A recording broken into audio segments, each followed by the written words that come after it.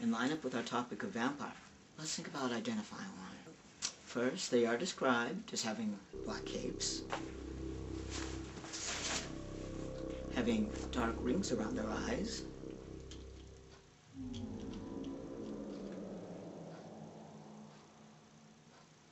pale skin,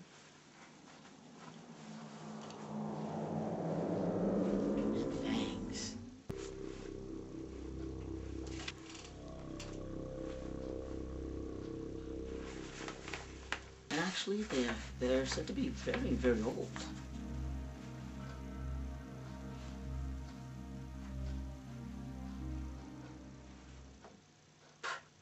Vampires.